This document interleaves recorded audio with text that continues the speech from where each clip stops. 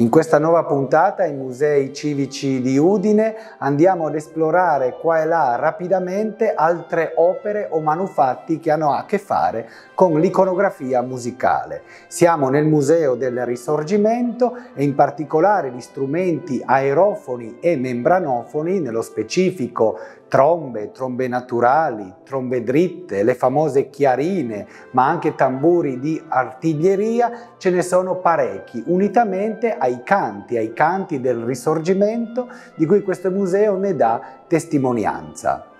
E tra questi vari cimeli del risorgimento notiamo ad esempio in questa feluca e al suo fianco delle rappresentazioni dei cornetti postali, corni da caccia cosiddetti, che sono anche il logo fino a poco tempo fa delle poste, se ben ci pensate. Sono queste cornette ricurve che appartengono in questo caso al regno italico ed è l'insegna dei cacciatori della guardia.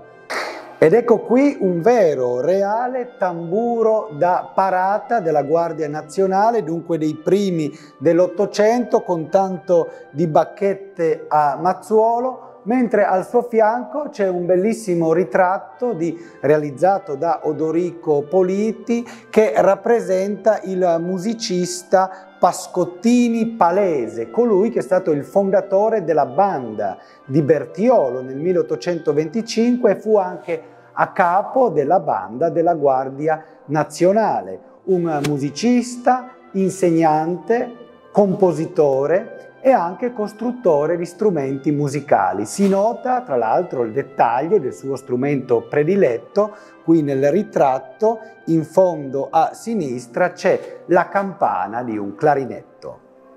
E per fare una rapida carellata di trombe e chiarine in contesto risorgimentale, ecco la ritirata di Garibaldi sull'Appennino di Umberto Valentinis, l'unione di Venezia all'Italia di Giacomo Casa, dove c'è di nuovo una fama che regge una chiarina, e vediamo in fondo a destra un tamburo su cui viene scritto il celebre motto Viva Vittorio Emanuele, Re d'Italia, viva Verdi. Poi ancora abbiamo una tromba qui nel busto commemorativo dedicato proprio a Garibaldi e ancora altre opere come questa. E a conclusione di questa puntata, per chiudere con una bella risata e le glorie trasformiste del violino romantico, ascolteremo dal capriccio numero 13, cosiddetto La risata, in Si bemolle maggiore, il violinista Cristian Sebastianutto.